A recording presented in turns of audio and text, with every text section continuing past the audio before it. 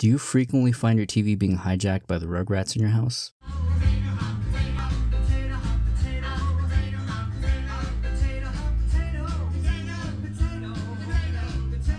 Does the thought of gaming on a television make you cringe?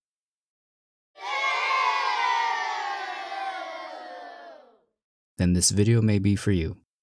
Remote Play, a feature offered by both Microsoft and Sony as an alternative to playing their consoles on a TV. It allows you to theoretically play any game you own or have access to on a phone, tablet, or a computer as long as you have a stable internet connection on that device. They both sound great on paper, but do they live up to what they are advertised to do?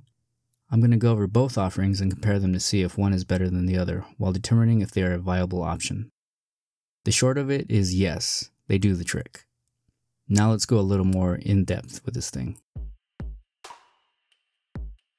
First up is PS5 Remote Play. To get started, you're going to need to download the PlayStation Remote Play app from the iOS store.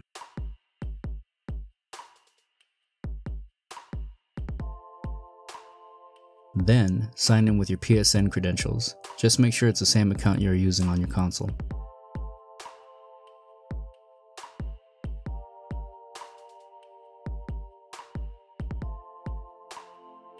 Next, make sure Remote Play is enabled on your console. Just go to your settings, then System, and just toggle the Remote Play switch.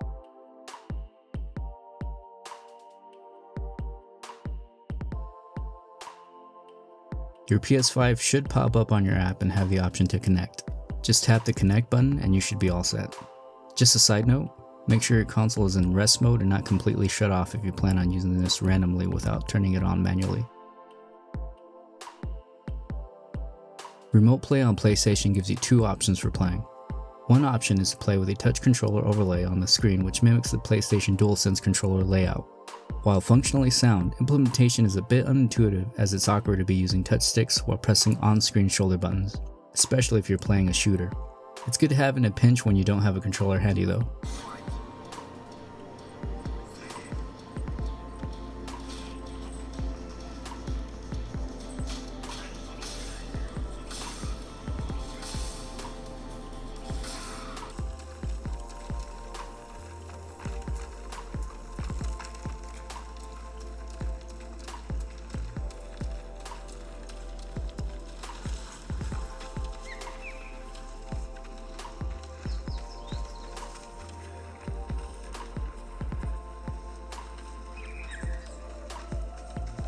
The other option, and the one I prefer, is to connect your DualSense controller to your iPhone via Bluetooth.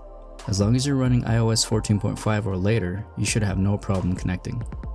To connect, all you need to do is press and hold the Create and PlayStation button together until the light bar starts to blink. Then go to your Bluetooth settings on your phone and connect to the controller. Now, all you need is a good pair of headphones, or pods, and you can game to your heart's content. The experience for me was seamless. I didn't notice any input or audio lag, and the video feed was stable. Sony recommends you have an internet speed of at least 15 megabytes per second for a decent experience. My current speed is 200 megabytes per second. One thing to keep in mind is that you can't exit the screen once you're connected. If you do, then you are immediately disconnected and have to restart the process. So no checking how bad your crypto is doing while you game. Overall, I'm gonna have to say this is a solid feature for the PS5.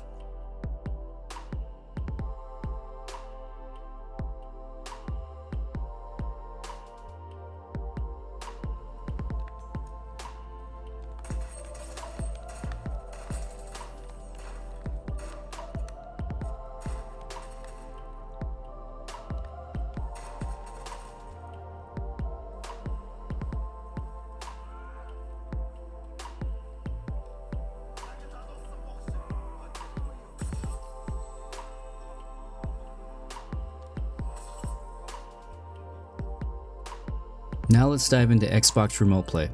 To get started here, you need to download the Xbox app from the iOS store. Just like the PlayStation, you sign in with the same Xbox credentials you have signed in on the console.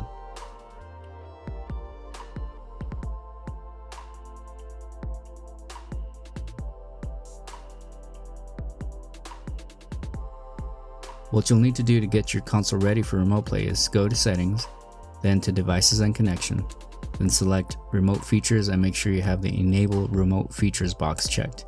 and have your power mode set to instant on. Next, you'll want to pair an Xbox controller to your iPhone, as there is no option for you to use touch controls here. Pairing is fairly easy, like the PlayStation process. Just press and hold the pairing button on top of the controller till the light starts flashing, and then go to Bluetooth settings on your phone and connect to it from the devices list. As long as you're running iOS 10 or later, you should be okay. In order for the controller to be able to connect through Bluetooth, it's going to have to be a model 1708 or newer. I think those were introduced with the Xbox One S maybe? Now, to get started, you need to go to the Xbox app and tap on the library icon. Then select your console and tap Remote Play on this device. Then you're ready to start gaming. Microsoft recommends you have at least 10 megabytes per second to have a smooth experience. Unfortunately, even at the speed that I have, I came across some lag in all areas, sound, input, and video every once in a while. Not game breaking, but enough to annoy. I will say that the overall connection is persistent though, I was able to exit the screen and return only to get a brief reconnecting message and then immediately get back to the action without having to restart the process.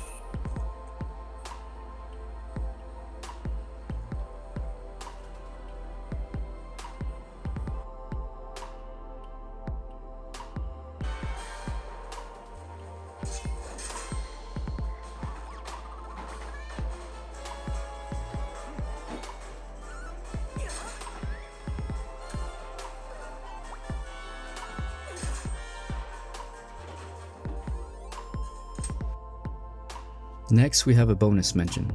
If you're a Game Pass Ultimate subscriber, Microsoft offers the ability to use their cloud gaming service on your phone, tablet, or computer.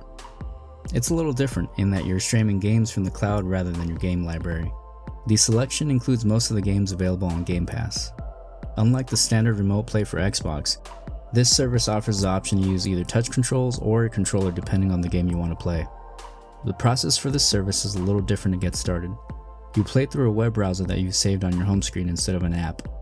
I'll leave a link to that page in the description. Once you log in with your Xbox credentials, the game startup is almost instant and seamless. Microsoft recommends you have an internet speed of 10 megabytes per second for gaming on an iPhone and 20 megabytes per second if gaming on an iPad.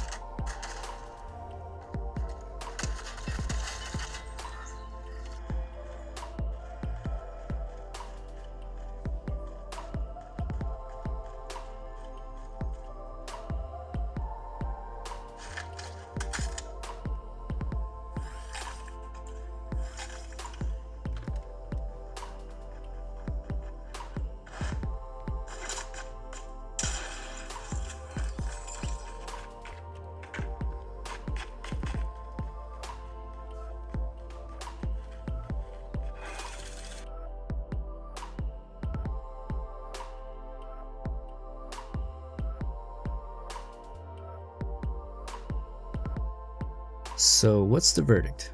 Like I mentioned in the intro, this is a viable option for gaming. I mean, more options are always a good thing, right? But I wouldn't say these would ever be my go to for gaming if I have the option to play on the TV. There was something just a little off about playing on my phone. The lag was more present on the Xbox side over the PlayStation, so I will have to say the PlayStation Remote Play is a little smoother for me. It was more evident when I tried playing some shooters but it is cool that the Xbox Remote Play keeps a persistent connection even if you exit the screen. Xbox's option to use the cloud is also pretty handy if you don't want to go through the hassle of having the games installed on your console. I can't really say there's a clear winner here, they both have their pros and cons, so I'll just let you come to your own conclusion. I say just enjoy both if you can.